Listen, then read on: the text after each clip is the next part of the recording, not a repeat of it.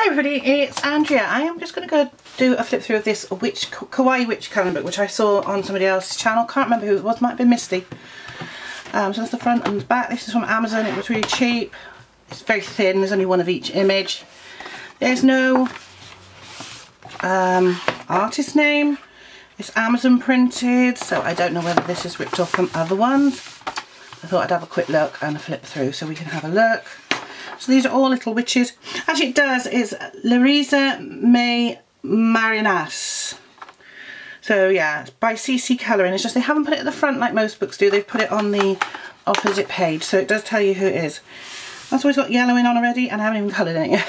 so I don't know how that's happened. But these are really cute little kawaii chibi type witches.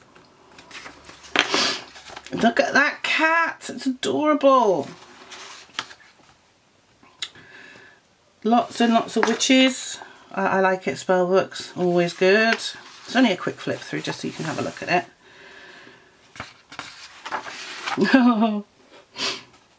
I do like things with crystal balls and tarot cards, that's very much me. There we go. Oh. Yeah, these are great. Sweet little things. I'll be colouring this one this month. Um, obviously because I bought it for Halloween. but you can colour in witches at any time of the year. I mean that one could be like a Christmas one because she's covered in candy. Obviously trick or treat as well. Oh no, see I love that. I like, really like that. Might do that with glitter gels. You never know. Intelligent looking witch. Like that one. She's winking. This is very short, it's going to be like two minutes long. So.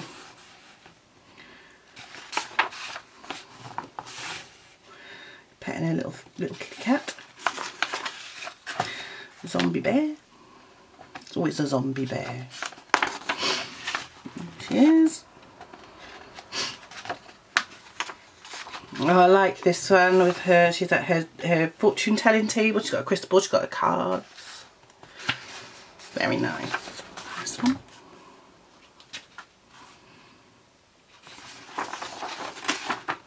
Cat.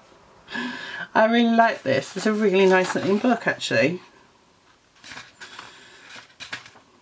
It's a really cute book. Like I said, it's really short. There's only one image of each in it. So that's the Kawaii Witch colouring book. If I can find a link for Amazon UK and US, I will leave a link down below for you. Hope you've enjoyed this flip through. And I'll see you in the next video. Bye everyone.